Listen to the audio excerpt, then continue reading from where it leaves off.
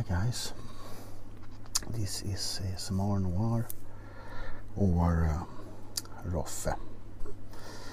Um, today's video is going to be a little bit different and it might not be entirely happy or cheery. Instead, it's gonna be a confession of some sort. But it's something that I have had on my shoulders my whole life. And uh,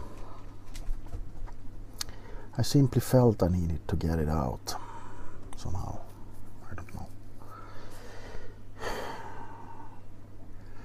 As most of you know, I have severe panic anxiety.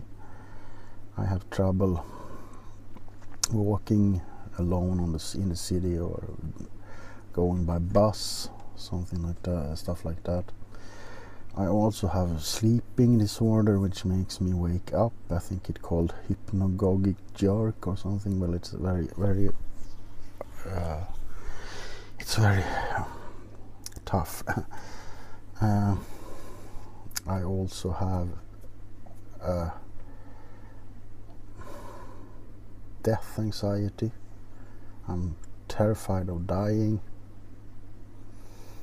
And uh, I need to get this off my chest. I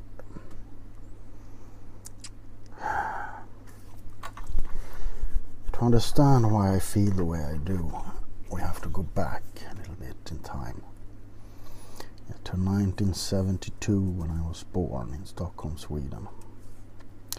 My mom worked at a shipping company or something like that, you know. I can't remember what it's called now. And uh, she lived a couple of blocks away from my grandparents. So I basically was with my grandparents since I was a couple of months old. My mom also was very young when she got me. And uh, I this mic works. Uh, she was partying pretty hard and uh, my grandmother was a very what should we say firm woman. She knew what she wanted and if she didn't get what she wanted she threatened.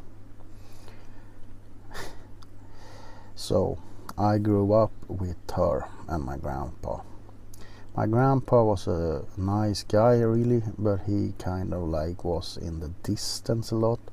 Felt like it he didn't really connect. Anyway my mom met another guy. I won't tell any names of course.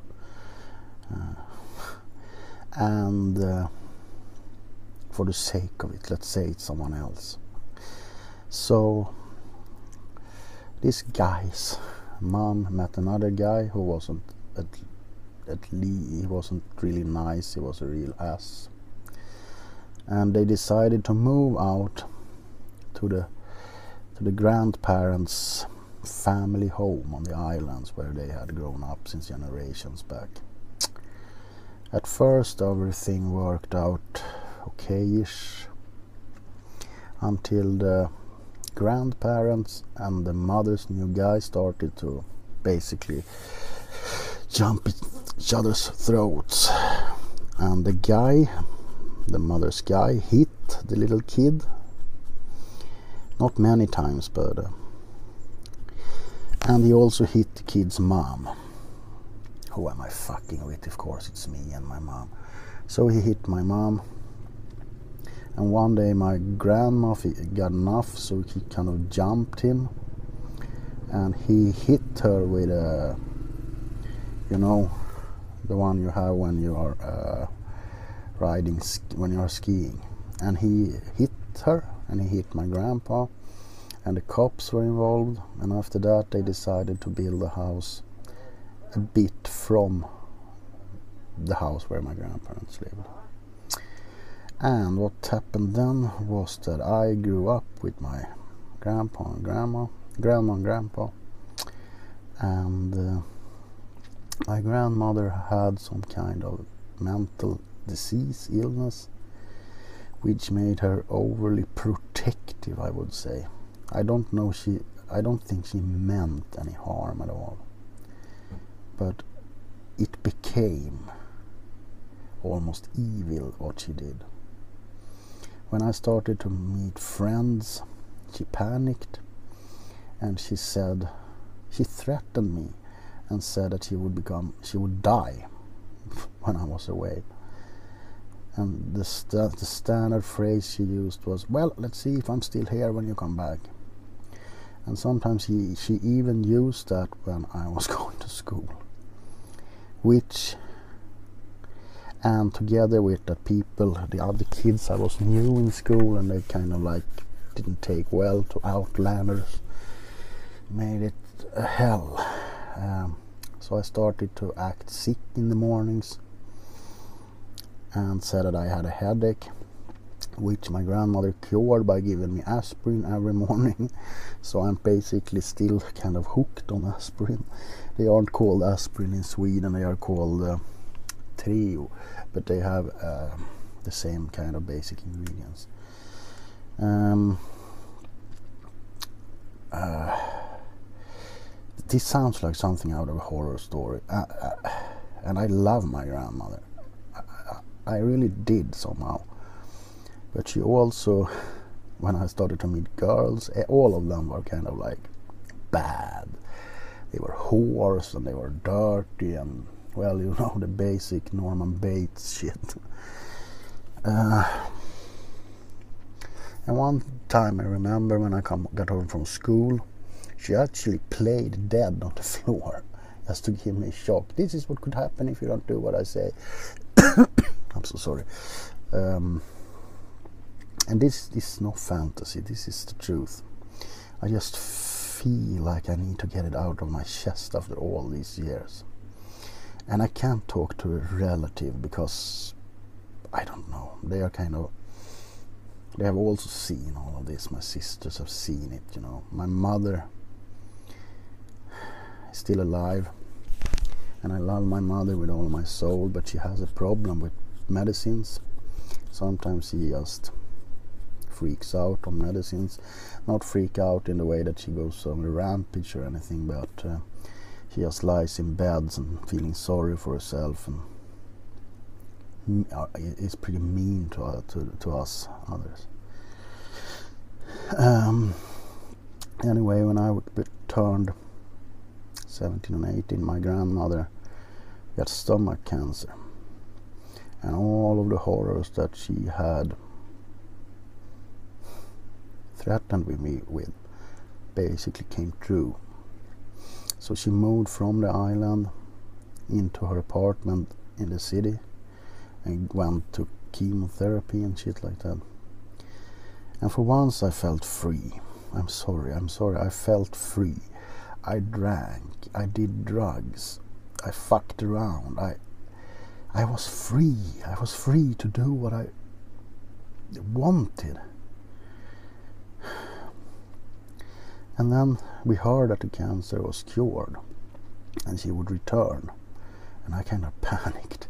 I tried to I tried to do the the the, the cellar outside to a living room and unfortunately the cancer came back more aggressive than it was before and she passed away. I freaked out. I drank even harder, went into fights, did drugs, and I'm not talking about cannabis, I talk about other drugs.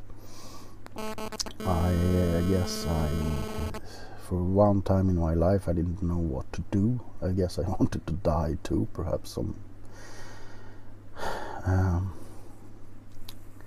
well, I inherited a house which I sold to my mom, and I moved from the island because I had enough. I met a girl, and we tried to move up north and we moved, stayed there for a year perhaps, but then I got bored and went back to Sweden. Yeah, Sweden, to, to, to the south. Uh, and when I sold the house to my mother, it was under one special deal. that I would always be welcome back and build a house on the premises, which I now have. So that's about the story I wanted to tell you. Uh, but when I was in my early 18th, 17, 18th, I started to get panic attacks. I started to feel sick. I started to don't want to go places if I wasn't drunk. I could lie on bed and feel like I had a heart attack. And uh, I have been trying ever since to medicate it with uh, all kind of pills. It doesn't work really. I still can move around when I'm drunk or shit, but uh, if I'm alone and gotta go somewhere into town or something, it's a living nightmare. And I always have these uh, panic attacks and thoughts about dying. I, remember uh, I had a shrink, which by the way doesn't do anything for me. Uh, he asked me, shit, I lost track. He asked me, uh, why are you afraid of dying? And the simple question I had was, the answer I had was, think that you're in a room with three doors and you don't know what's behind them. Behind one door, it's everything that you ever wanted or ever needed. Behind door two, there's emptiness, just a void, you don't exist. And behind number one, you're alone, naked, freezing degrees and wet on an endless ice forever. Shouldn't you be a little bit afraid to open one of these doors? Just looked at me. uh, there's so much I could tell you about, but I guess if there's something, if there's something to learn from this, is that if you have kids, or if you're going to get kids, think about it because it is a responsibility that you have to live with until the kid is old enough to take care of himself. You cannot dump that burden onto someone else. It's yours and your responsibility alone. I don't know. I don't know, man. I might have been crazy even if I grew up in a family full of love and care and perhaps there's something wrong in here, you know, that makes me the way I am. But somehow I don't think that's the case. I don't think no one is born sick or at least not mentally sick. I think it comes from the environment and from what people do to you when you are still forming, you know. I have to live with my illness for the rest of my life. Unless I, if I'm not chosen to do a lobotomy or something. Because people don't really know how it is. They kind of see this cheerful, happy guy who laughs, goes to the bar. And yes, I can go to the bar because when I get to the bar, I get drunk and then it's like nerve pills, you know. I live on the island. I can go to the to the local store because I drive my own motorcycle. I don't have to take a tub or take a bus or anything like that. And the people at the local store are people I have known for my eternal in, for my life, my whole life. So of course it isn't as bad as when I go to a big, let's say Walmart in Stockholm. I don't think we have Walmarts, but we have kind of like similar stores. And I'm sorry, my brother-in-law is outside driving around on a four-wheel. I just needed to get this off my chest. I, I hope I don't bore you to death. And I don't do this to make people feel sorry for me. I do this because I want to explain why I am the way I am. And I want to perhaps give give a tip to other parents becoming parents that please take your responsibility don't dump it over to someone else because it can turn ugly with that said i wish you the best week and the best best everything that you can ever have. I love you guys and i will see you in the next video